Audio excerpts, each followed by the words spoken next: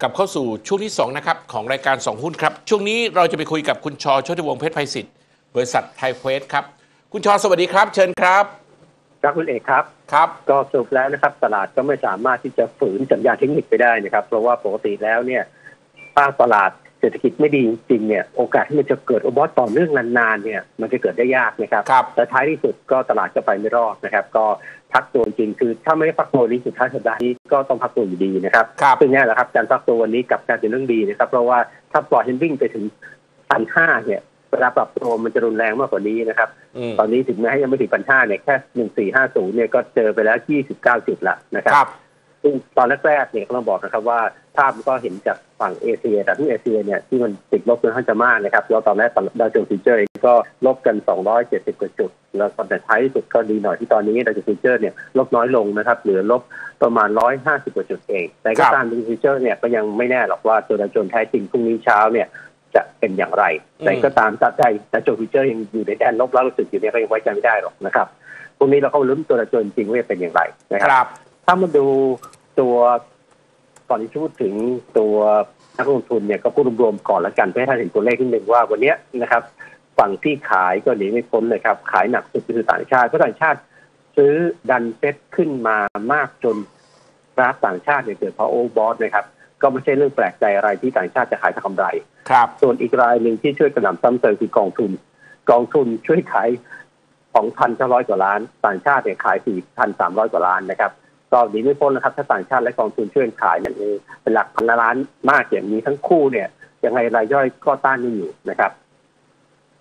ตอนนี้เรามาดูกราฟตัวดาวโจนส์กันครับกราฟดาวโจนส์เนี่ยจะเห็นนะครับ ว่าดาวโจนส์เองเนี่ย หลังที่เขาขึ้นมาเนี่ยตั้งแต่ช่วงประมาณเดือนพฤศจิกานะครับ สุดท้ายดาวโจนส์เองก็มีภาวะการแกว่งออกข้าง sideway แล้วแกว่งข้าง sideway ตั้งแต่ประมาณช่วง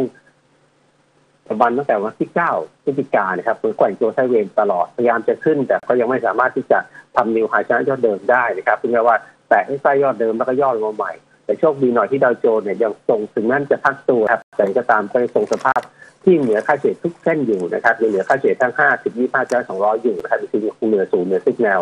แต่พรุ่งนี้ก็รู้กันต่อนะครับว่าภาวะการวิ่งออกข้างไซด์เวย์สามารถประคองตัว เหนือค่าเฉลี่ยทุกเส้นได้อยู่หรือไม่นะครับ ให้วัง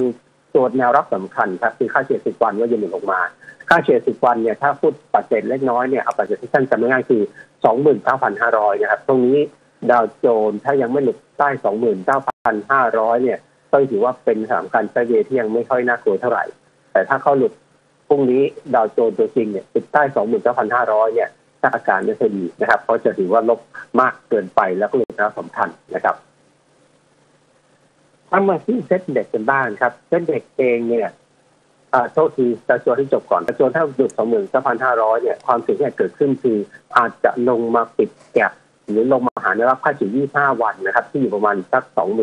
29,000บวกลบ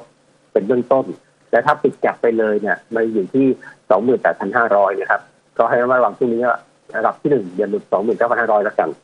ครับ มาดูตัวเส้นเด็กกันบ้างครับเส้นเด็กเองเนี่ยในช่วงของการขึ้นรอบนี้ก็มีการกระโดดกลับขึ้นเหมือนกันนะครับ แล้วก็สุดท้ายก็สามารถยืนเหนือค่าเฉลี่ยได้ทุกเส้นในช่วงแรกนะครับ ตอนแรกเนี่ยเก่งมากเลย ไม่เวลาพักตัวเนี่ยก็ไม่เคยหลุดค่าเฉลี่ย 5 วันเลยนะครับ แล้วค่าเฉลี่ยก็เล็งตัวก็จะสวยค่าเฉลี่ย 5 วันอยู่เหนือ 10 วัน 10 วันอยู่25 วันนะครับ แล้วก็สุดท้าย 25 วันจนถึง15วันด้วย แต่ความที่มันขึ้นแล้วไม่ค่อยยอมพักเนี่ยเพราะช่วงที่มันขึ้นมาตั้งแต่ต้นเดือนพฤศจิกาเนี่ยเวลาย่อตัวไม่เคยย่อตัว จนหลุดค่าเฉลี่ย5 วันเลยนะครับย่อตัวแค่ 2 วันก็ขึ้นตลอดนะครับ สุดท้ายเนี่ยโอบอสไปเรื่อยๆเรื่อยๆสุดท้ายก็ทนไม่ไหว สุดท้ายก็เลยวันนี้ก็เลยพักตัวเป็นหนึ่งนะครับค่าเฉลี่ย5 วันเราเห็นนะครับ ตอนนี้เราต้องลุ้นนะครับว่าพรุ่งนี้เนี่ยจะจะลงต่อจนหลุดแนวรับสำคัญค่าเฉลี่ย10วันหรือเปล่า ครับ เพราะถ้าเป็นปากจากขึ้นที่เข้มแข็งเนี่ยนะครับ เวลาพักตัวเนี่ย มันจะพยายามประคองตัวตรงแนวรับค่าเฉลี่ย10วันแล้วขึ้นต่อนะครับ แนวรับค่าเฉลี่ย10วันเนี่ยถ้าท่านจำตัวเลขง่ายๆคือพันสี่ร้อยยกลบนะครับ แต่ถ้าท่านจะเอาแนวใต้สุดเลยของค่าเฉลี่ย10วันเนี่ยถ้าเป็น exponential 10วันเนี่ยเป็นตัวล่างสุดคือประมาณ1396นะครับพูดง่ายว่าพรุ่งนี้อย่าได้ติดใต้1396แล้วกัน ถ้าติดใต้396เนี่ยจะไม่สวยเลยเพราะการติดใต้1396คือการดูดค่าเฉลี่ย10วันลงมาเนี่ย มันจะเกิดความเสี่ยง อสมควรเลยนะครับ ที่มันอาจจะเกิดการพักตัวมาหาแนวรับถัดไปมีค่าเฉลี่ยระดับ 25 วัน ซึ่งนับค่าเฉลี่ยที่พันตกใกล้สุดเนี่ยถ้าปัจเจกที่หนึ่งคือประมาณ 1350บวกลบนะครับให้ระวังนิดนึงนะครับ1396ช่วงนี้อย่าปิดใต้นี้ ถ้าปิดใต้1396เนี่ยมาถลายลงมาแถว1350บวกลบได้นะครับ ซึ่งจะเยอะเลยสำหรับการปรับตัว ครับ ถ้ามาดูในภาพของตัวเซ็ต เทียบกับต่างชาติและกองทุนนะครับ ว่าเป็นอย่างไรก็เห็นนะครับ ว่าวันนี้เนี่ย ต่างชาติเองที่เคยซื้อสุทธิต่อเนื่องมาตลอดนะครับจนซื้อสุทธิต่อเนื่องจากเป็นเชิญกราฟต่างชาติเกิดเพราะโอเวอร์ต่อเนื่องกันสองอาทิตย์เนี่ย สุดท้ายก็ทนไม่ไหวต่างชาติก็ขายทางใบออกมานะครับ เป็นการปรับตัวต่อเนื่องนะครับภาดิสโตค่าสิบก็คือปรับตัวต่อเนื่องต่อจากวันศุกร์ที่วันศุกร์ก็เลยมีเริ่มมีขายบ้างวันนี้ขายหนักเลย และไม่พูดถึงกองทุนกองทุนเนี่ยถึงแม้ต่างชาติจะซื้อกลับมาเนี่ยกองทุนเนี่ย กลับเป็นฝ่ายขายทำกำไรนะครับ ตอนที่ต่างชาติดันขึ้นขึ้นดันขึ้นก็ขายแหละมีซื้อกลับได้น้อยจะไปขายเท่ากับซื้อกาฟลงทุนเองเนี่ยแนวโน้มหลักจะเป็นขาลงอยู่เลยนะครับ ตอนนี้ก็ที่บอกนะครับว่าได้รับของค่าเฉลี่ยสิบวันของเซ็ตสำคัญ ถ้าต่างชาติกองทุนขายหนักเป็นหลักพันล้านอยู่เนี่ย ความเสี่ยงของการหลุดแนวรับค่าเฉลี่ยวันแถวหนึ่งสามเก้าหกเนี่ยมันอาจจะเกิดขึ้นได้นะครับตรงนี้ก็ต้องมาดูกันต่อนะครับ ว่าทิศทางของตลาดที่ต่างประเทศนะครับต่างรอบทิศทางของต่างชาติและกองทุนเนี่ย จะยังขายต่ออีกหรือเปล่านะครับ ครับ มาดูกลุ่มอุตสาหกรรมบ้างครับอุตสาหกรรมกลุ่มแรกนะครับ เราพูดถึงกลุ่มธนาคารกลุ่มธนาคารเนี่ยถือว่าขึ้นค่อนข้างจะเยอะเลยนะครับ ในช่วงนี้ แต่สุดท้ายเนี่ยกลุ่มธนาคารเราก็ทราบดีนะครับ ว่าถ้าเศรษฐกิจยังไม่ฟื้นเนี่ยกลุ่มธนาคารไม่น่าจะไปได้นะครับ การขึ้นกลุ่มธนาคารในช่วงสั้นๆเนี่ยประมาณขึ้นที่จริงแล้วต้องระมัดระวังตลอดทางนะครับแต่ท้ายที่สุดเนี่ยกลุ่มธนาคารก็มีการปรับตัว นะครับตามภาวะที่เกิดโอเวอร์ต่อเนื่องสังเกตนะธนาคารโอเวอร์ต่อเนื่องทั้งโตก็สิบไอไอเลย สุดท้ายก็โดนเทขายแล้วก็ขายจากที่ว่าลงมาปิดเกือบหลุดค่าเฉลี่ย10วันเลยนะครับ ต้องบอกว่าปริ่มน้ำพอดีนะครับ ต้องระวังนิดนึงนะครับธนาคารเนี่ยวันนี้ปิดอยู่ที่318 318เนี่ยมันใกล้กับแนวรับค่าเฉลี่ย10วันพอดีนะครับ ถ้าหลุดพรุ่งนี้318ปิดใต้318เมื่อไหร่เนี่ยอาการไม่สวยเลยเพราะว่าแนวรับถัดไปอยู่ลึกค่อนข้างจะไกลอยู่กวนครับถ้า318เอาไม่อยู่พรุ่งนี้เนี่ย อาจจะเห็น 305 300 หรือ 295 290 ได้เลยนะครับ เพราะน่าไปอยู่ค่อนจะไกลครับส่วนไอ้ตัวที่เราเห็นการย่อตัวส่วนหนึ่งเนะครับ ถ้าเรามาดูกราฟนี้จะเห็นนะครับว่ามันเป็นการขึ้นไปใกล้กับแนวต้านที่เกิด75 วิ75 สัปดาห์นะครับ แล้วใกล้ยอดเดิมจะตรงใกล้ๆ 350 บวกลบนะครับ แต่สุดท้ายเข้าไปไม่ถึง310บวกลบนะครับ ไปแค่ 330 กว่า แล้วก็เกิดเพราะโอบอสของโซค่าสิบระดับวีคแล้วก็ ระดับเดย์พร้อมกัน RSI ก็ระดับเดย์ก็โอบอสด้วยสุดท้ายก็มีการเทขายกำไรออกมานะครับครับ มาดูชุดพลังงานนะครับพลังงานเองก็เป็นหนึ่งนะครับที่ขึ้นมาแรงนะครับ พลังงานเองเนี่ยในรอบนี้ก็มีการย่อตัวค่อนข้างจะมากเหมือนกันนะครับ แต่ใจก็ดีกว่ากลุ่มแบงก์บ้างก็คือว่าถึงลงมาก็จริงแต่ก็ยังไม่ถึงค่าเฉลี่ย10วันนะครับแต่ถือว่าเป็นลงมาเป็นแท่งแดงที่ค่อนข้างจะดูค่อนข้างจะน่ากลัวเหมือนกันก็เป็นแท่งแดงยาวนะครับ ตอนเราก็ปิด ปิดท้ายตลาดเนี่ยเกือบจุดต่ำสุดของวันเลยนะครับ ตัวพลังงานเองเนี่ยก็เป็นเพราะโอบอสของโตเพราโตคลาสสิกไอซ์เช่นเดียวกันในกราฟแบบเดย์นะครับ แล้วกราฟแบบวีคเองก็มีโอบอสของตัว RSI ดับวีคเหมือนกันนะครับ แล้วก็เป็นการชนแนวต้านค่าเฉลี่ยระดับ 75 วีคกับ200 วีคไม่ผ่านแล้วก็ย่อนะครับ ตอนนี้ก็ต้องลุ้นกันนะครับว่าแนวรับที่อยู่ใกล้ๆค่าเฉลี่ย10 วันจะทำงานหรือเปล่าค่าเฉลี่ย10 วันถ้าปัจเจท่านจำไม่ง่ายคือประมาณ 21 21,900บวกลบโดยประมาณนะครับก็อย่าหลุดใต้นี้ลงมาที่ใต้นี้ลงมาเนี่ยจะอันตราย เพราะว่าแนวถัดไปมันลึกนะครับ ถ้า21,900รับไม่อยู่เนี่ยแนวถัดไปเป็น21,000นะครับ ก็ให้จะหาพอสมควรเลย ครับ มาดูกลุ่มชิ้นส่วนอิเล็กทรอนิกส์บ้างครับชิ้นส่วนอิเล็กทรอนิกส์เองนะครับ ก็มีการปรับตัวขึ้นตามภาวะตลาดเช่นเดียวกันนะครับแล้วสองวันที่ผ่านมาก็ปรับตัวจนชนะยอดเดิมขึ้นมาได้นะครับแต่สุดท้ายเนี่ยก็ตามเซตแหละครับ มีไฟ overbought ด้วย แล้วก็เจอภาวะของเซตเองที่มีการย่อตัวลงมา แล้วก็มีการปรับตัวลงมานะครับ แล้วถ้าดูในเชิงของกราฟระดับ week เนี่ยระดับ day ระดับ week จริงๆถ้าที่เชิงเมซีเพราะว่าค่อนข้าเข้มแข็งนะครับเอ็นซีเหนือศูนย์เหนือซิกแนวทั้งเดย์ทั้งวีคแต่ถ้าดูในเชิงของกราฟนี้จะพบว่ามันขึ้นเป็นขึ้นตามเป้าเสาธงพอดีนะครับแล้วเกิดว่าวอดแล้วก็มีการขายกำไรออกมานะครับ ก็ไม่ก็อาจจะอาจจะมีการพักตัวเป็นศูนย์ธงอีกรอบก็ได้นะครับ แต่ต้องระวังนิดนึงนะครับ ในเชิงค่าเฉลี่ยทั้งเดย์ทั้งวีคเนี่ยต้องบอกว่าแนวรับค่าเฉลี่ยสิบวันอยู่ห่างเยอะสมควรนะครับ ตอนนี้อยู่ที่สามสี่เก้าหนึ่งถ้าปรับตัวแบบทรงๆไซเวย์เนี่ยก็ไม่ควรจะหลุดสามหมื่นสี่พันโทษสามพันสี่ร้อยลงมา ก็คงให้อยู่ข้างบนบน แต่ถ้าอยู่ใต้3,400ลงมาเนี่ยอาจจะลงมาหาแถวย่าน3,200บวกลบขึ้นไปได้ข้อ40วันได้นะครับ มาดูกลุ่มสื่อนะครับ กลุ่มสื่อเองเนี่ยวันนี้ก็มีการปรับตัวลงมานะครับ จากเพราะว่าที่เกิดโอบอททั้งโตคัสติกไอไอระดับเดและระดับเดนะครับ แล้วก็มีสามการชนแนวต้านเกียร75วิเจ็ดข้อสัปดาห์ไม่ผ่าน แล้วย่อยเราเห็นนะครับ กลุ่มนี้ก็มีการปรับตัวลงคล้ายเซ็ตแล้วเป็นแท่งแดงกบเขียวเกินกว่าครึ่งแท่งนะครับ ก็มีความทั้งเทียนเนี่ยบอกมีความเสื่อมกันว่า การปรับตัวอาจจะเกิดต่อเนื่องได้นะครับการปรับตัวดีก็คือการ ปรับตัวที่เฮงทรงนั่นแหละก็อาจจะดีหน่อย แต่ถ้าปรับตัวแบบรุนแรงระวังนะครับ อย่าได้หลุดค่าเฉลี่ย10วันที่แถว4 4 4ก็ตอนนี้อยู่แถว4 5 1 6นะครับ4 5 1 6จะรับ10วันอยู่ห่างคนที่อยู่วัน4 4ถ้าพรุ่งนี้ติดป้าย4 4เนี่ย จะไม่ดีแน่นะครับจะเป็นการอ่อนตัวที่น่ากังวลเลย ครับมาดูกลุ่มปิโตครับปิโตแข็งนะครับ วันนี้ถึงแม้จะจะลบเยอะปิโตเนี่ยบวกสวนเลยนะครับ ไม่สนใจ แต่การบวกสวนของปิโตเองเนี่ยต้องบอกนะครับว่า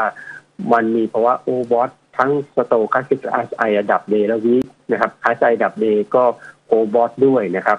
RSI ระดับ week ก็ใกล้จะ overbought แล้ว ก็ต้องระมัดระวังนิดนึงนะครับว่าถ้าพรุ่งนี้ยังคงขึ้นต่อไปจะเป็นภาวะ overbought ต่อเนื่องซึ่งต้องระวังว่าหลังโอวอสต่อเนื่องแล้วเนี่ยเหตุการณ์ที่อาจเกิดขึ้นต่อมาเนี่ยหนีไม่พ้นเลยว่าจะมีการชะลอตัวหรือพักตัวนะครับระวังนิดนึงนะครับแนวต้านสำคัญที่เราเห็นชัดๆตอนนี้คือค่าเฉลี่ยระดับ 200 สัปดาห์เนี่ยยิงแถวๆประมาณ 1,000 นะครับ กับ 1,137 ในย่านตั้งแต่ไอ้1,000บวกลบจนถึง1,137ระวังขึ้นขึ้นต่อเนื่องไปจะเป็นว่าต่อเนื่อง และจะเสี่ยงการชะลอตัวหรือพักตัวเราเห็นในอนาคตอันใกล้ครับแต่อย่างไรก็ตามเรื่องของปิโตรเคมีนะครับและเรื่องของคุณคุณท้องกับน้ำมันเนี่ยอย่าลืมไปดูราคาน้ำมันโลกที่เดี๋ยวจะดูราคาน้ำมันโลกในตอนท้ายนะครับ ว่าทิศทางเป็นอย่างไร ครับ มาดูกลุ่มสังหารนะครับ สังหารเองรอบนี้ก็ถือโอกาสขึ้นตามการขึ้นของเซ็ตเช่นเดียวกันนะครับ ก็จริงๆสังหารก็คล้ากลุ่มธนาคารที่จริงๆแล้วถ้าเศรษฐกิจยังไม่ฟื้นเนี่ยกลุ่มสังหารก็ยังไม่มาง่ายหรอก แต่รอบนี้อาศัยเซ็ตขึ้นเยอะก็ขึ้นมาตามนะครับ แล้วก็ทำให้การปรับตัวเนี่ยต้องบอกว่าวันนี้ก็ปรับตัวแรงพอควรนะครับแล้วระวังนิดนึงนะครับ ว่าตอนนี้เราปิดที่ 207แนวรับ 205 เป็นค่าเฉลี่ย10วันที่ใกล้สุดเนี่ยมันเลือนิดเดียวเองนะครับ แล้วส่วนที่การที่ไม่ผ่านรอบนี้นอกจาก เป็นการปรับตัวให้หายโอบอทแล้วนะครับ มันเป็นเรื่องของการปรับตัวสถานการณ์ที่ขึ้นไปใกล้แนวต้านค่าเฉลี่ย 75 สัปดาห์ไม่ผ่านแล้วย่อค่าค่า70ค่าเฉลี่ยระดับ 75 สัปดาห์อยู่ประมาณ218กับ224 นะครับแล้วขึ้นไปใกล้ๆแล้วก็ไม่ผ่านแล้วย่อลงมา ตรงนี้ก็ยังมีความเสี่ยงนะครับ ที่อาจจะปรับตัวลงมาก็ระวังแนวรับ 205 ให้ดีว่าค่าเฉลี่ย10วัน205จะหลุดหรือเปล่าในพรุ่งนี้นะครับ ครับมาดูกลุ่มขนส่งนะครับกลุ่มขนส่งเองเนี่ยก็เห็นชัดเลยนะครับว่า วันนี้ก็ปรับตัวลงแรงนะครับกลุ่มขนส่งเองเนี่ยเห็นต้องทราบดีว่าไอ้ตัวหลักๆที่เป็นตัวดันกลุ่มนี้ขึ้นมาเนี่ยตัวหลักซื้อคือหุ้นสนามบินนั่นเองนะครับวันนี้ก็เห็นนะครับว่ากลุ่มขนส่งเองเนี่ยปรับตัวลงค่อนข้างแรงนะครับ หลังที่ตอนแรกเนี่ยเขาสามารถยืนเหนือค่าเฉลี่ยทุกเส้นได้นะครับ แต่พอมามาวันนี้เนี่ยเจอปรับตัวลงค่อนข้างจะมากเลยนะครับ เป็นแท่งแดงแล้วก็จะยาวแล้วติดเกือบถึงจุดต่ำสุดของวันเลยนะครับ ครับต้องบอกว่า พรุ่งนี้อันตรายหนึ่งว่ามันมีค่าเฉลี่ยวันแล้วพรุ่งนี้แนวรับค่าเฉลี่ย25 วันจะรับอยู่หรือเปล่า ค่าเฉลี่ย25 วันเนี่ยอยู่ใกล้ๆกับแก็บที่เปิดทางไว้นะครับ ถ้าเอาแนวตัวแก็บเนี่ยใกล้ๆกับเฉลี่ยค่า25 วันเส้นแรกอยู่ประมาณ335นะครับพยายามอย่าหลุดใต้ 335 ในวันพรุ่งนี้3535บวกลบอย่าหลุด ถ้าหลุด 335บวกลบลงมาชัดๆเนี่ยอันตรายที่อาจเกิดขึ้นคือ มันอาจจะค่อยไหลลงมา 330 325 ที่รับถัดไป และถ้าเร็วร้ายมากหน่อยมันลงปิดจับ315เนี่ยจะไม่ดีมากนะครับเพราะปิดจับ315เนี่ยแล้วไม่ยอมเด้งเนี่ยมันเท่ากับหลุดต้านเฉลี่ยทุกเส้นนะครับ มันเป็นการที่อันตรายค่อนข้างมากนะครับ แล้วไอ้รอบนี้ที่การที่มันไม่สามารถจะไปต่อได้ส่วนหนึ่งก็เป็นเรื่องของการที่ขึ้นมาใกล้ยอดเดิมถ้าดูกราฟที่จะเห็นนะครับมันเห็นยอดเดิมในแถว370เนี่ย เราขึ้นไปประมาณ366เนี่ยยังไม่ถึง370เนี่ยรอบนี้ก็ไปต่อไม่ไหวแล้วนะครับ แล้วก็ย่อตัวลงมาก็เกิด overbought ระยะสั้นของกับ stochastic และ RSI ระดับ day นะครับ ครับ มาดูกลุ่มค้าปลีก commerce นะครับค้าปลีก commerce ก็เป็นที่เราทราบเราก็ทราบดีเหมือนกันนะครับค้าปลีก commerce ก็อิงเศรษฐกิจแหละถ้าเศรษฐกิจเนี่ยยังไม่ฟื้นจริงเนี่ยค้าปลีก commerce ก็ยังไม่มาง่ายนะครับ รอบนี้ก็เป็นสถานการณ์ที่ปรับตัวจริงๆมีการปรับตัวมาก่อนในนี้แล้วนะครับเราพยายามเด้งตรงระดับค่าเฉลี่ย10วันเมื่อสัปดาห์ที่แล้ว แต่สุดท้ายเนี่ยวันนี้ก็เป็นการหลุดใต้ค่าเฉลี่ย10วันแบบที่เราเห็นชัดๆขึ้นมานะครับ ซึ่งตรงนี้ก็ต้องระวังนิดนะครับ ว่าจากเดิมที่ที่กองตัวเป็นนะครับที่เห็นในภาพไหล่หัวและไหล่หัวกลับนะครับ ตอนแรกพยายามจะผ่าน neckline แต่มาวันนี้เนี่ยอาการไม่ค่อยดีครับ ถ้าจะยืนไม่อยู่จากที่ผ่าน neckline มาวันนึงครับแล้วจะหลุดใต้ neckline เส้นคอของหัวกับไหล่หัวกลับนะครับ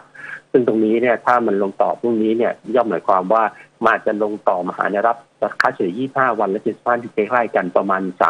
34,500 บวกลบนะครับ เป็นแนวรับที่อยู่ใกล้โดยประมาณ แต่ถ้าเป็นแนวรับสุดท้ายของค่าเฉลี่ยระดับ day เนี่ยก็คือ34,000ครับถ้าหลุดใต้34,000นี่จบเกมเพราะว่ามันดูค่าเฉลี่ยทุกเส้นเนี่ย มันมีความเสี่ยงการที่จะพลิกเป็นขาลงเราเห็นได้เลยนะครับกลุ่มไฟแนนซ์นะครับกลุ่มไฟแนนซ์เองต้องบอกนะครับ ว่าเป็นกลุ่มที่มีความกระเพื่อมตามการแกว่งปกติอยู่แล้วนะครับเพราะมีการเก็งไว้ต้นสูงอยู่แล้ว แต่ท้ายที่สุดเนี่ยกลุ่มไฟแนนซ์เนี่ยก็มีสถานการณ์ที่ ขึ้นไปถ้าดูกราฟ day เห็นของการขึ้นไปชนกรอบเส้นคู่ขนานด้านบนพอดีนะครับ แล้วสุดท้ายก็เป็น overbought ใกล้เส้นคู่ขนานด้านบน และสุดท้ายก็เจอแรงขัดเข้าออกมา วันนี้ก็เป็นแท่งยาวๆกบแท่งเขียวเกินกว่าครึ่งเนี่ยซึ่งสัญญาณแบบนี้เป็นการที่เตือนว่าระวังพรุ่งนี้จะมีการย่อตัวต่อนะครับซึ่งการย่อตัวต่อเนี่ยอาจจะทำให้มันลงมาหาแนวรับค่าเฉลี่ย10 วันแถว 4,200 หรืออาจจะลงมากรอบล่างไปสัปดาห์นี้กรอบล่างของค่าเส้นคู่ขนานเนี่ยอยู่ประมาณแถว 4,000 4,000อ่า4140โดยประมาณนะครับ ถ้าหลุด4140เนี่ยไม่ดีแน่เพราะหลุด4140ปั๊บเนี่ยการไหลลงไปหา 4050 เป็นค่าเฉลี่ยระดับ 25 วันถัดไปเนี่ย อาจจะเกิดขึ้นและเป็นไปได้ทันทีลองนิดนึงนะครับว่าแนวรับสุดท้ายคือ 4050 ถ้าหลุดตัวนี้ปุ๊บเนี่ยมาจะพลิกจากภาวะของการแกว่งขาขึ้นกลายเป็นพลิกขาลงได้เลยนะครับ มาดูกลุ่มอาหารนะครับ กลุ่มอาหารเนี่ย เดิมทีก็สร้างกรอบสวนกันเพราะตามภาพเป็นเสาธงแล้วแกว่งตัวเป็นผืนธงนะครับ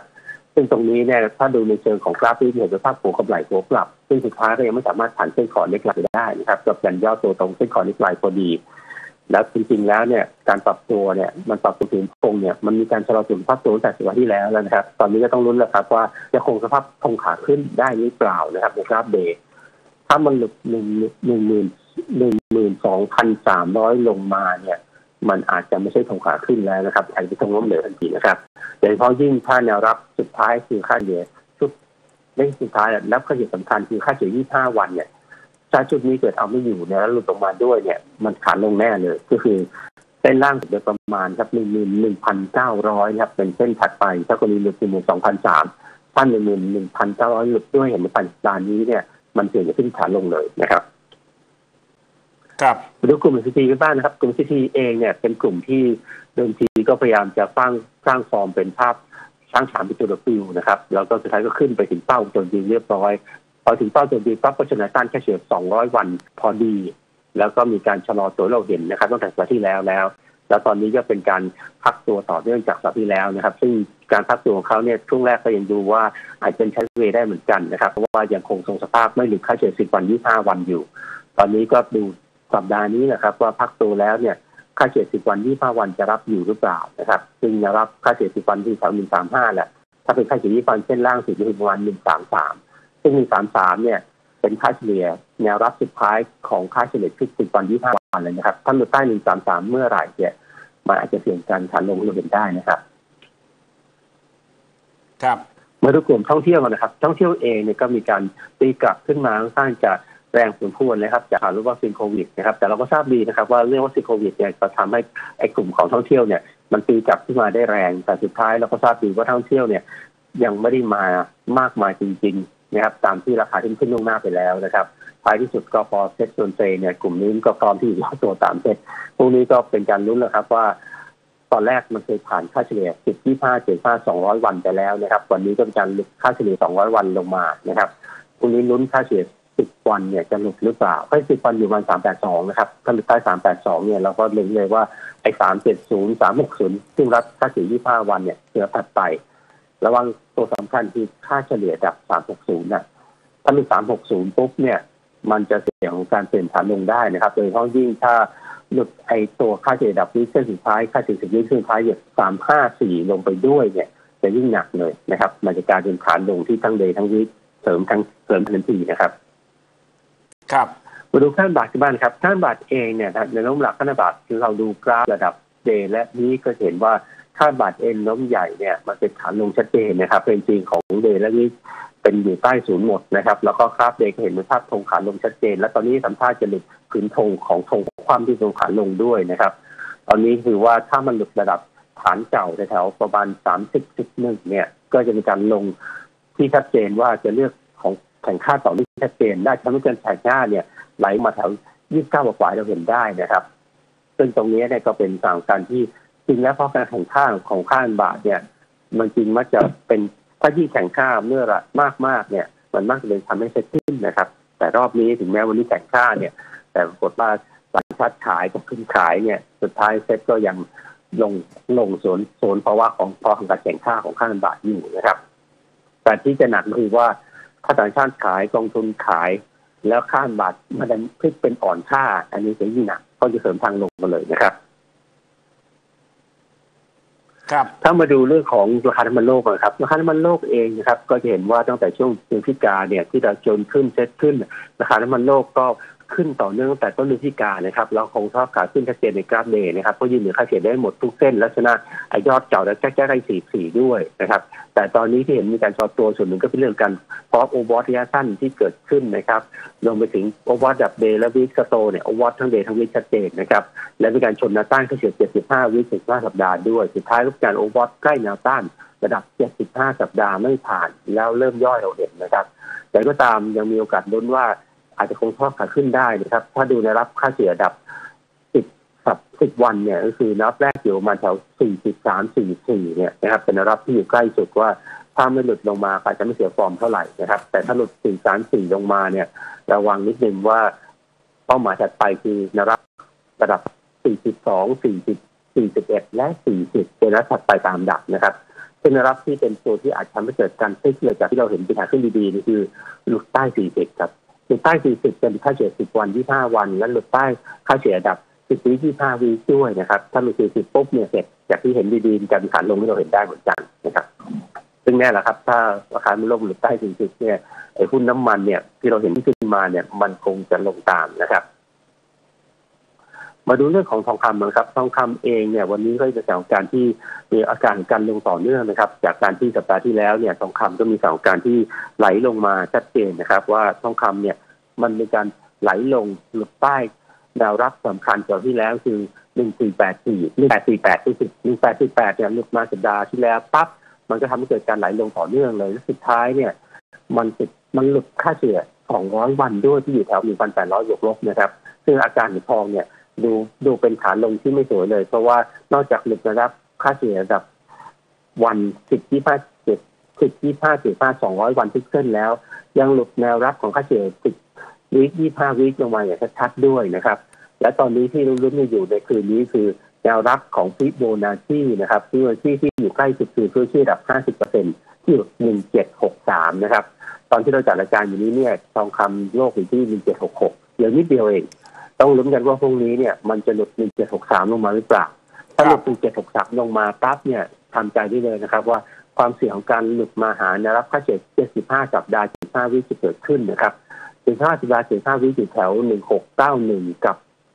1664 นะครับซึ่งต้านเป็นเจ็ดประมาณนิดหนึ่งนะครับ ก็ระวังสองแนวนี้ให้ดีครับว่าหลังจากจากหลุด 1763 แล้ว มันอาจจะลงมาใต้พันเจ็ดนิดหนึ่งที่เราเห็นได้นะครับ แล้วส่วนการหลุดใต้พันได้ในรับถึงห้าสัปดาห์เส้นสุดท้ายคือหนึ่งหกหกสี่เนี่ยถ้าหลุดด้วยจะยิ่งไปกันใหญ่นะครับแต่ก็ตามนะครับในแง่ของทองเนี่ยเริ่มพลุ้นกันได้เหมือนกันในแง่ของการดีกลับหรือเด้งสั้นนะครับ เพราะว่ามันมีแสงโอโซของสโตคลาสสิกได้ใจทั้งระดับโตคลาสสิกเนี่ยระดับเดเนี่ยโอโซอาศัยระดับเดเนี่ยโอโซนะครับแล้วก็เรื่องของโตคลาสสิกระดับ 5 วีโอโซเหมือนกัน โอกาสที่จะเด้งตรงนี้ แต่เป็นการเด้งสั้นนะพอมีแต่เด้งขาลงนะระวังนิดนึงครับ ถ้าจะมีการเด้งของทองคำในสัปดาห์นี้เนี่ยทำใจเลยว่าไม่ใช่เด้งเพื่อพลิกเป็นขาขึ้นนะครับ อาจจะเด้งสั้นๆจนต้านที่ผ่านแล้วจะตัวรอใหม่นะครับหวังได้แต่เพียงเด้งสั้นๆนะครับ แล้วแนวรับที่เราเห็นตรงนี้ก็ไอ้หนึ่งหนึ่งเจ็ดหกสามเนี่ยจริงๆแล้วใกล้มากเลย ไม่ค่อยเข้มแข็งเท่าไหร่นะครับตรงนี้ก็ลองดูกันว่าจะสามารถประคองตัวได้หรือเปล่านะครับ ท้ายนี้นะครับผมฝากเรื่องงานสัมมนาอบรมสอนการวิเคราะห์หุ้นด้วยกราฟนะครับหลักสูตรเทรดหุ้นให้รวยด้วยกราฟเทคนิคนะครับ จะเริ่มสอนกันวันที่ 16 17แล้วที่3นะครับ แต่นี่คือสอนในห้องเรียนที่มหาวิทยาลัยพลาซ่าเซนจิตครับ38นะครับเป็นการสอนเต็มวันนะครับ แต่ก็ตามผมจะเรียนเชิญให้ท่านเนี่ยสมัครตั้งแต่เดือนเดือนเลยนะครับ เพราะว่าถ้าสมัครเริ่มแต่เดือนนี้เนี่ยนะครับ เราก็จะเริ่มสอนผ่านทางไลน์ไปก่อนนะครับ ตอนนี้ก็มีคนสมัครมาคุณว่า เยอะพอสมควรแล้วนะครัครับบเหลืออีกประมาณเจ็ดที่เท่านั้นเองก็จะเต็มแล้วนะครับ ถ้าท่านใดสนใจคนต้องรีบสมัคร แล้วก็เราจะได้เริ่มเรียนทางไลน์กันก่อนเลยนะครับ ผมจะเริ่มส่งบทเรียน ให้ท่านเริ่มเรียนภาคคุ้นเคยกับกราฟไปก่อนตั้งแต่ช่วงเดือนธันวาทั้งเดือนเลย แล้วก็พอมกราก็ต่อเนื่องไปจนกระทั่งถึงวันเรียนจริงก็เรียนกันในห้องนะครับ ก็จะเริ่มปูพื้นฐานกับท่านที่ไม่เป็นกราฟเลย หรือท่านที่พอเป็นกราฟบ้างแต่ยังไม่เก่งนะครับ หลักสูตรนี้สำหรับท่านที่ไม่เป็นกราฟเลยหรือท่าน ที่อาจจะเก่งรู้แต่รู้จักกราฟบ้างแต่ยังไม่เก่งนะครับก็เริ่มตั้งแต่ต้นเลยนะครับครับถ้าท่านสนใจนะครับ ติดต่อได้ที่ 0 2 6 5 1 4 7 4 7 ต่อ 789 นะครับ หรือท่านไปอ่านรายละเอียดของหลักสูตรนี้ที่ Facebook โชติวงศ์ได้ครับ ครับ ชัดเจนนะฮะ ขอบคุณครับคุณชอครับ ครับ สวัสดีครับ ชอโชติวงศ์เพชรไพศิษฐ์จากไทยเควสครับ เดี๋ยวเราพักกันสักครู่ฮะ ช่วงหน้า เปิดสายตอบคำถามนะครับ ที่เบอร์ 02678 6761 แล้วก็ Facebook เอก Investment เอกสกด AEK ครับ สักครู่กลับมาตอบคำถามครับ